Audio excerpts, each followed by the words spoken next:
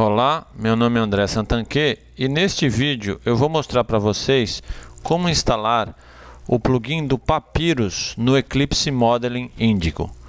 O Papyrus é uma ferramenta de modelagem UML que funciona como um plugin do Eclipse. Você pode encontrar a página do Papyrus com mais informações nesse endereço Aqui eu estou mostrando para vocês a página do Papyrus. Você tem várias informações como tutoriais, fóruns, um link para download e assim por diante. Para essa instalação eu estou considerando que você já tem na sua máquina o Eclipse Modeling Indigo. Se você ainda não instalou ele, você pode assistir um vídeo meu anterior onde eu mostro como fazê-lo. É possível também instalar o Papyrus em outras edições do Eclipse. Tá? Algumas edições anteriores têm um processo equivalente de instalação e uh, outros, outros sabores de Eclipse, como a gente chama, em outros sabores também é possível instalar o Modeling e eu vou mostrar uh, como fazer isso. Então eu vou começar aqui com o, o Eclipse Modeling Índico e como eu falei, há duas estratégias para você fazer essa instalação. A primeira é que você pode entrar nessa opção Install Modeling Components. A outra é que você pode entrar no Install New Software. A Install Modeling Components é a forma mais simples, que eu vou mostrar aqui. Você clica nela e o sistema apresenta para você uma lista de vários componentes do modeling que estão disponíveis para você uh, aplicar. É, é, esse, esse método facilitador só está disponível na versão uh, Eclipse Modeling uh, do, na, na, versão Modeling do Eclipse. Então você pode, por exemplo, uh, nesse caso aqui você vai ver que tem várias ferramentas para MDA, para outros aspectos não é? de, de relacionados à modelagem UML. E eu vou escolher aqui o que nos interessa, que é o Papyrus.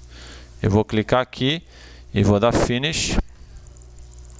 E aí ele começa a carregar e instalar o Modeling. Eu vou dar uma pausa enquanto ele está fazendo isso.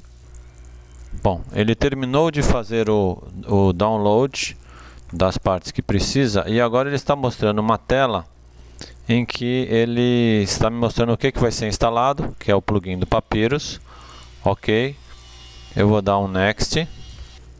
Então eu vou dar um Next aqui, cliquei em Next ele quer que você indique aqui que você vai instalar essa ferramenta, ele mostra as, as dependências, né, as partes que compõem a ferramenta, eu vou dar um Next, aqui é a licença, eu tenho que dizer que eu, eu concordo com a licença, você pode ler ela aqui em cima, e aí eu vou dar um Finish, então ele vai continuar o processo de instalação do Eclipse do, desculpe, do Papyrus dentro do Eclipse. Tá? Então ele vai lendo os pacotes. Se você clicar aqui em Details, ele vai te mostrando ah, as coisas que ele está carregando, etc e tal. E vou dar uma pausa enquanto ele carrega. Ele continua aqui o, a barra é, crescendo no processo de instalação. Vou dar outra pausa. Muito bem. Após a, a, a, instalação de todos os componentes, nós atingimos o ponto em que o Eclipse completou, de, a, completou o processo de instalação e agora ele quer saber se eu, eu vou restartar o Eclipse. Não é o computador inteiro, é só o Eclipse. Se eu não quero restartar, nesse caso ele não vai aplicar as alterações ou se eu vou aplicar as alterações do plugin. Eu recomendo, e o, e o, e o Eclipse também, que a gente faça o restart, que é o que eu vou fazer agora eu vou restartar o Eclipse, tá?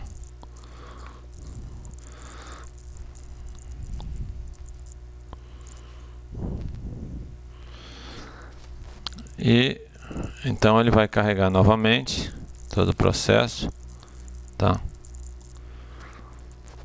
Bom, enquanto é, é, quer dizer, como é que você sabe que o Eclipse instalou corretamente o, o plugin? Né? Essa é uma, uma pergunta importante né? para você olhar. Então, para você saber se ele, se ele instalou corretamente, você vem aqui no, no File, por exemplo, no New, e aí você pode pedir Order aqui, ok? Se o, o plugin foi instalado corretamente, você vai ver aqui nas opções de projeto, você vai ver o Papyrus aqui. Então você vai ver que você pode criar um Papyrus Project, um Papyrus Model, tá?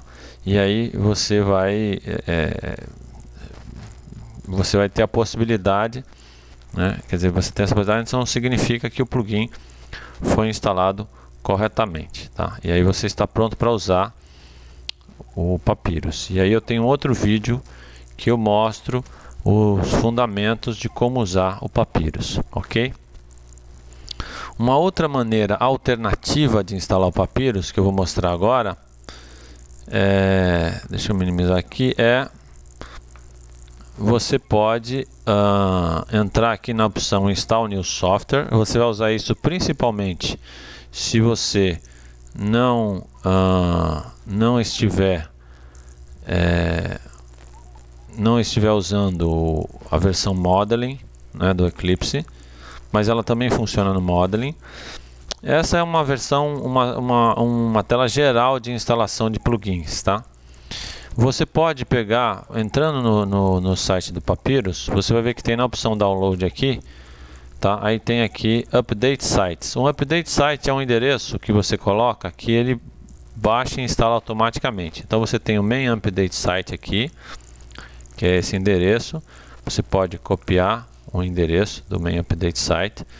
E aí você vai para essa tela aqui. Perdão não é essa. Eu peguei a você vai para essa tela de instalação aqui e manda adicionar um update site. Aí você dá o nome por exemplo papyrus tá? Coloca o endereço aqui.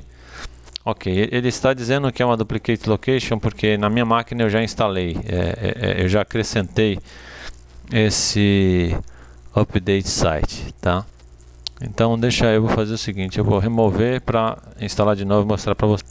Então voltando, eu removi da, do meu só para mostrar para vocês, eu vou dar um add, vou escrever papyrus e vou colocar o update site, dou um ok, aí ele agora tem o, o site aqui, né, cadastrado, né, eu posso é, é, é, acessar no futuro toda vez por aqui mesmo, tá vendo?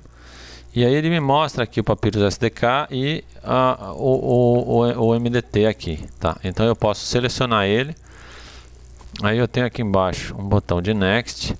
E a partir daí, na verdade, o, o processo de, de instalação do, do plugin do Papyrus é muito semelhante ao que a gente fez naquela outra edição lá, tá? Em que você tem que selecionar aqui, você dá um, um accept e aí você vai adiante no processo de instalação que, que não muda, tá? Então, essa é, é basicamente a forma que a gente tem de fazer a instalação, tá? Então, esse é o endereço da minha página, caso você queira mais informações e vídeos sobre o assunto.